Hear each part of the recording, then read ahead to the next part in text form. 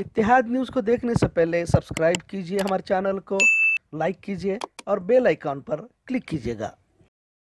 अस्सलाम वालेकुम रहमतुल्लाहि वबरकातुहू। इतिहाद न्यूज़ में आप सभी का खैर मकदम है। बेलगाम में फिर चौदह पॉजिटिव मरीज़ पाए गए। इंतज़ामिया के उड़ गए होश। पिछले कुछ दिनों से क्वारंटाइन किए लोगों के डिस्चार्ज करने की खबर से इत्मीनान हासिल हो रहा था। पिछले दिनों पिछले तीन दिनों से तकरीबन 200 के करीब क्वारंटाइन लोगों को डिस्चार्ज किया गया। तो कई ऐसे मरीज़ कैंप खीरे, बागेवाड़ी बेलगुंदी कुर्ची के थे जो पॉजिटिव से नेगेटिव हो गए और इन्हें भी डिस्चार्ज किया गया। पर आज अचानक चौदह पॉजिटिव मरीज़ पाए जाने से इंतजामिया के होश उड़ गए। इतमान की सांस लेने वाली इंतजामिया और हेल्थ एडमिनिस्ट्रेटर फिर से चौकन्ना हुए हैं। कुल चौदह मरीजों में तीन संकेश्वर तालुका हुक्केरी और हीरे बागेवाड़ी से ग्यारह पॉजिटिव मरीजों की तादाद में इजाफा होने से कोरोना का दायरा और वसी होता नज़र आ रहा है। बरोजबुद बारह साल के लड़के का टेस्ट पॉजिटिव हासिल हुआ था। इस तरह से कुल बेलगाम ज़िले की तादाद सत्तर के करीब बिल्कुल पहुँच चुकी है। पिछले 16 तारीख को एक ही दिन में 17 पॉजिटिव मरीज़ हासिल हुए हैं। इसके बाद यह सबसे बड़ा आंकड़ा हासिल हुआ है।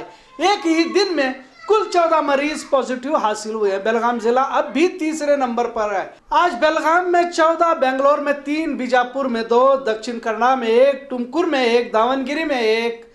कुल आज रियासत कर्नाटक में 22 मरीजों का इजाफा हुआ, जिसमें बेलगाम में सबसे ज़्यादा 14 मरीज़ पाए गए। रियासत में कोरोना के मद्देनजर तीन हिस्सों में तकसीम किया गया है, जिसमें रेड जोन ऑरेंज जोन और ग्रीन जोन में जिलों को तय किया गया। पिछले 28 दिनों से अगर एक भी कोरोना मरीज़ नहीं पाया गया तो उसे ग्रीन जोन में रखा जाएगा, जहाँ पर पाबंदियाँ नहीं होंगी। और अगर पिछले 15 से 28 दिन में सिर्फ़ एक मरीज़ हासिल हुआ है तो इसे ऑरेंज जोन में रखा जाएगा। रेड जोन में बेंगलोर, मैसूर बेलगाम, बीजापुर, गुलबर्गा, बागलकोट, मंड्या, बीदर, मैंगलोर, बेल्लारी, चिकबल्लापुर, धारवाड़, गदग, तुमकुर, ये तमाम जो है रेड जोन में होंगे। ग्रीन जोन में यादगीर, रायचूर, हावेरी कोपल दावनगिरी, शिमोगा, चित्रदुर्ग, शिमोगा, हासन, कोडगु, चामराजनगर, कोलार, ये तमाम ऑरेंज जोन में होंगे।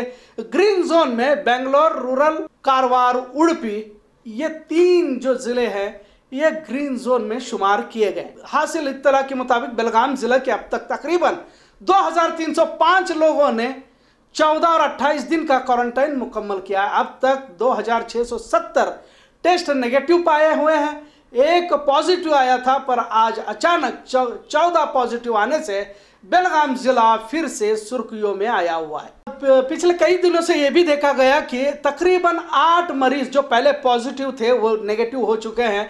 आज फिर दो खातून जो कुर्ची से हैं, इन्हें आज डिस्चार्ज किया गया। सभी इंतज़ामिया और पूरे डॉक्टर्स नर्सिस ने मिलकर इन्हें तालियों के साथ इनको विदाई दी और ये कुर्ची रवाना हुई है। यानी कि एक तरह से जहाँ चौदह पॉजिटिव मरीज़ पाए गए तो पॉजिटिव से नेगेटिव होने वालों में भी इजाफा होता जा रहा है। ये भी एक अच्छी खबर कह सकते हैं। इतिहाद न्यूज़ देखने के लिए शुक्रिया। अल्लाह हाफिज़।